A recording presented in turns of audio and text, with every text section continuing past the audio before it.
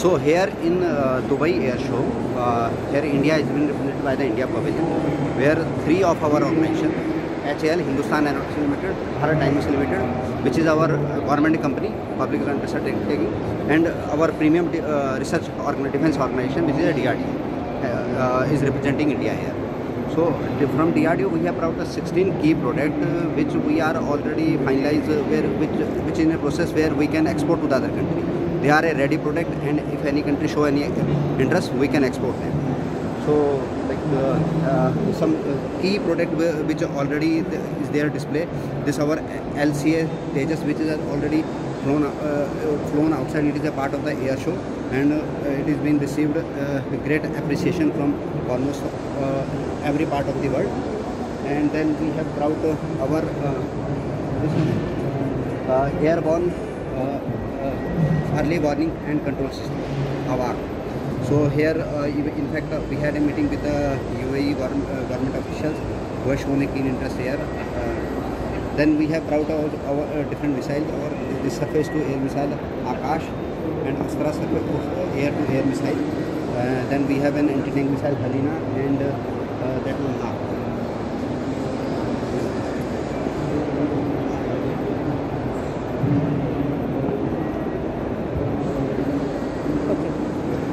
So this is our decoy system for anti torpedo decoy system Mareech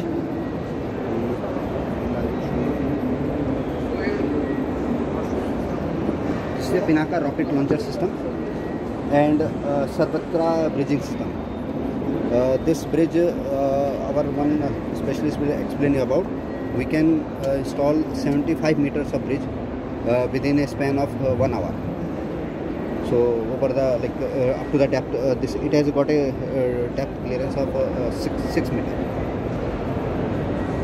And other our uh, some products are displayed here. This is a weapon locating radar, which we have already exported to Armenia. And uh, these are our some JBPC, the joint venture uh, protective carbine, and this is a multi-mode hand grenade, uh, multi-mode hand grenade already our, forces have received uh, have placed a huge order for this product. So all these products which is been displayed here are already in a ready condition and we are looking from the world uh, as because now current government is focusing on uh, exporting the product rather than importing. So these are the products which uh, we are looking for a potential customer. Dr. Anil Kumar Upadhyay from DRDO.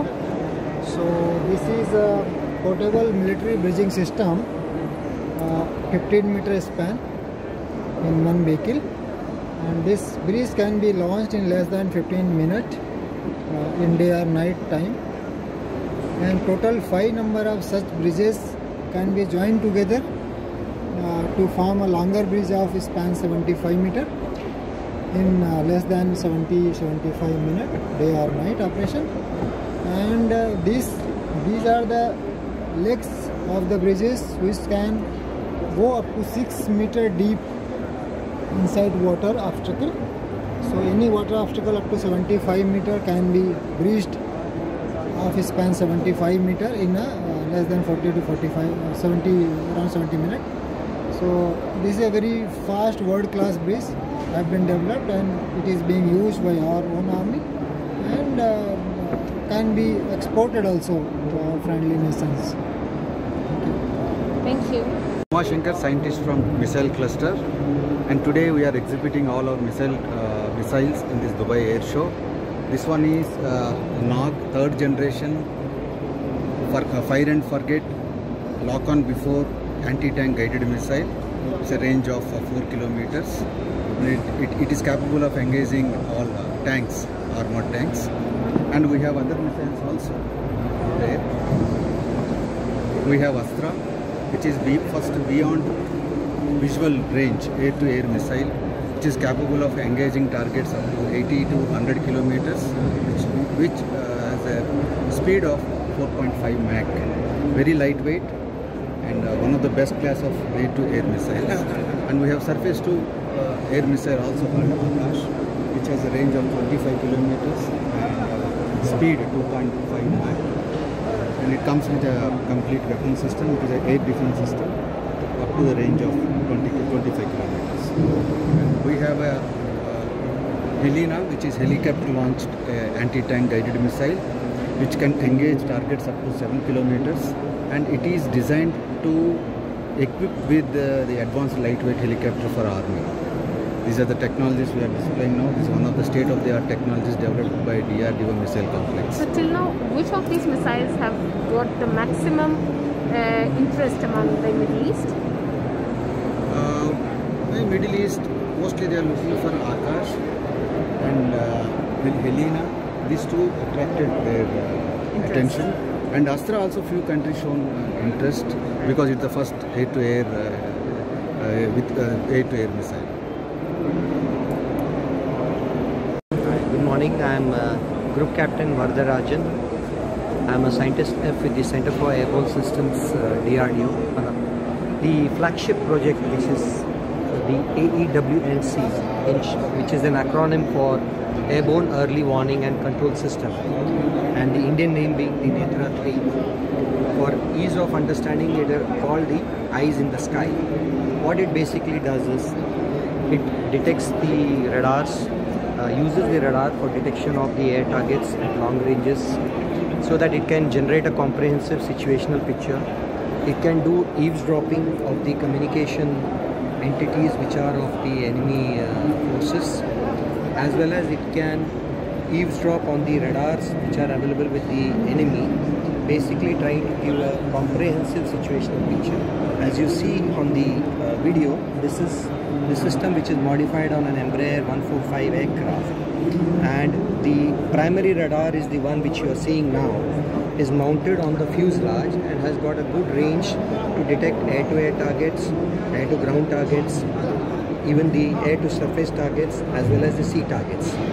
In addition to the primary radar, we have a system called the identification of friend of foe, which is called the IFF, which helps in preventing fratricide so that you don't accidentally shoot your own aircraft. That helps you to distinguish between the enemy as well as your friendly forces. In addition to that, for any system of systems, there is a need to have a robust communication system. So we have the SATCOM data link system, which is mounted under this radome, which can give coverage beyond line of sight. When I say beyond line of sight, it doesn't have to have a corresponding ground part within the line of sight. So I can travel anywhere in the world and still hook out the picture back to India or anywhere for that matter. In addition to this SATCOM link, we have the C-band data link, which is the line of sight, where it always will be in communication with the ground counterpart to enable exchange of information from the air as well as from the ground.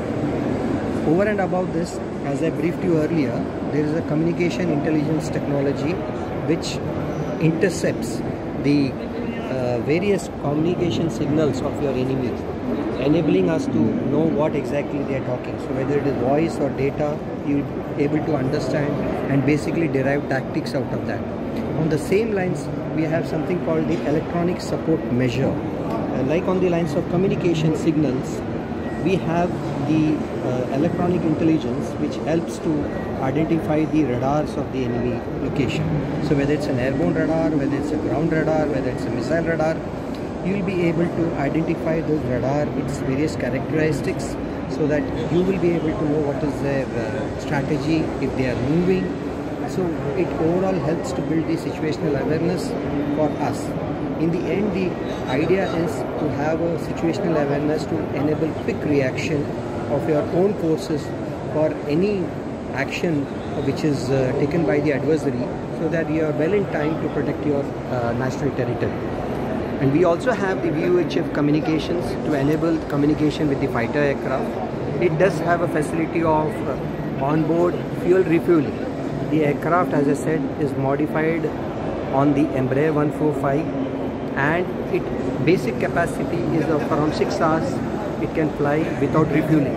If I need to extend my uh, surveillance capability, I can get it refueled using another aircraft and we have an in-flight probe for that which enables it to go for another 3 to 4 hours.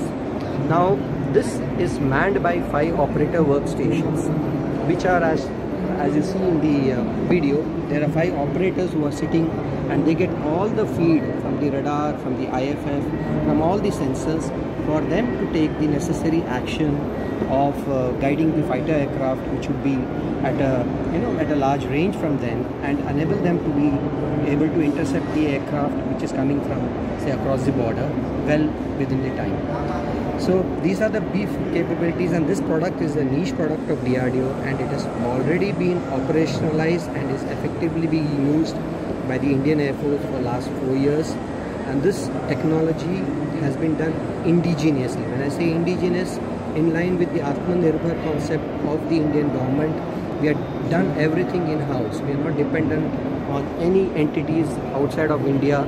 So we have entire control over the hardware, we have entire control over the software.